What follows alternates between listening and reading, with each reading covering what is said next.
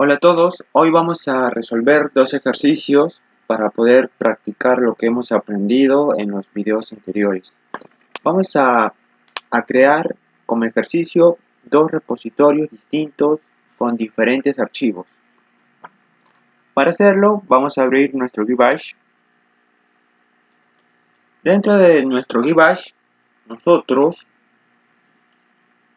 vamos a crear dos carpetas. En este caso vamos a crear la primera carpeta que se va a llamar práctica 1 y la segunda carpeta práctica 2.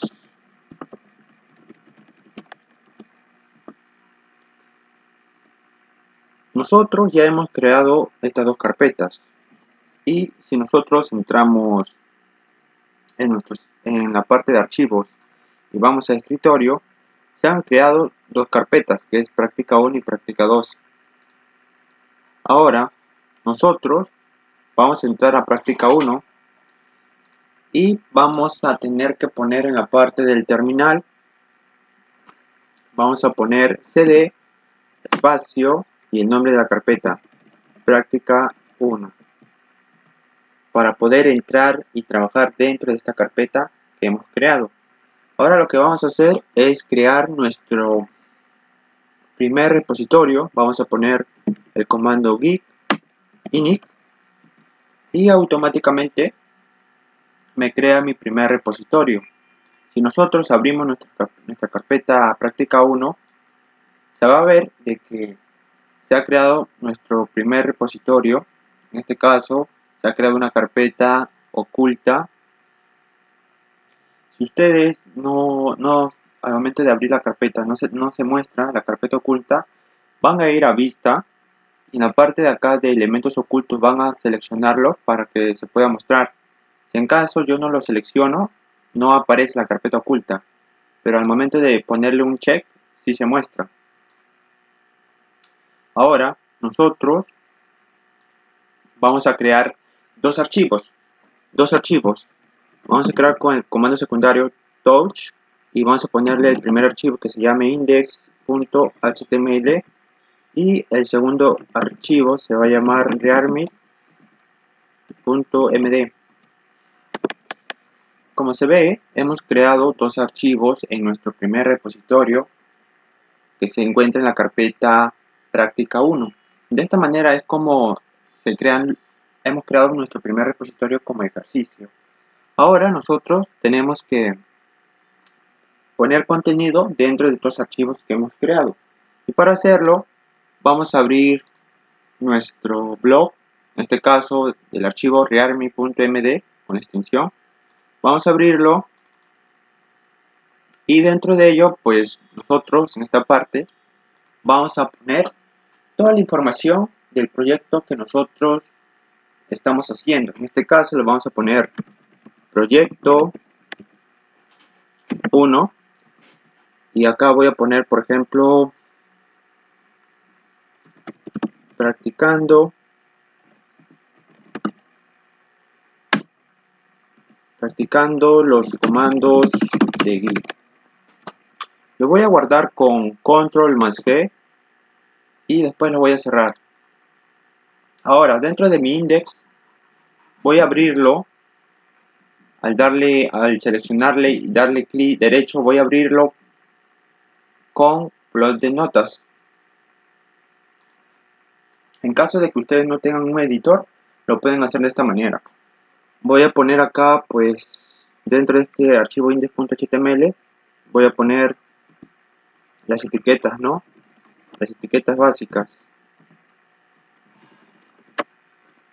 Que usualmente la mayoría pone, ¿no? Para crear una página web en este caso voy a ponerle las etiquetas de, que son necesarias para poder estructurar nuestra, nuestra página web ¿no?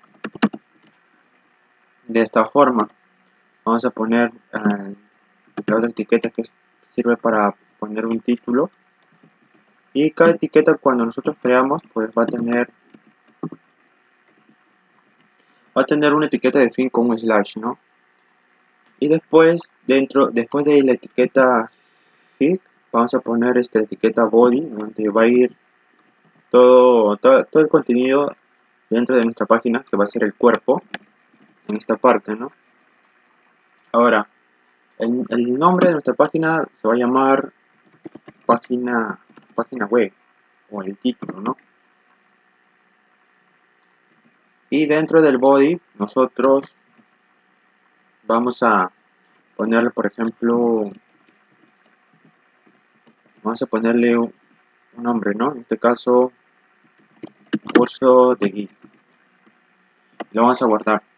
De esta manera es como nosotros hemos creado nuestro primer repositorio. Pero si ponemos el comando git status se ve de que nos marca de color rojo estos dos archivos. Es porque no hemos agregado al repositorio local que hemos creado. Para agregarlo vamos a poner git add y vamos a poner espacio dos, dos rayas y vamos a poner algo de esta forma.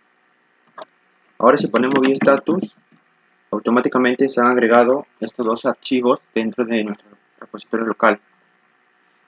Ahora, nosotros lo que vamos a hacer es crear otro repositorio en nuestra carpeta práctica 2. Para hacerlo vamos a poner cd espacio doble punto, dos puntitos y vamos a salir ahora de la, carpeta práctica 1 para poder ingresar a la carpeta práctica 2. Vamos a poner cd práctica 2. Ahora ya estamos en la carpeta práctica 2. Lo que falta es que nosotros tenemos que crear un repositorio dentro de nuestra carpeta práctica 2. Si abrimos nuestra carpeta práctica 2, se ve de que nosotros no hemos creado un repositorio local. Para hacerlo vamos a poner git init y automáticamente se crea el repositorio local. Ahora nosotros lo que vamos a hacer es crear los archivos, dos archivos.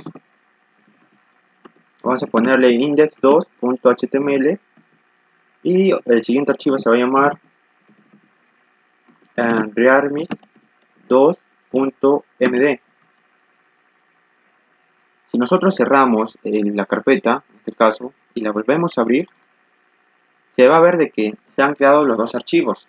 En este caso, index 2.html y rearmy2.md. Pero no hemos agregado a nuestro segundo repositorio local que hemos creado dentro de la carpeta práctica 2. Para hacerlo vamos a poner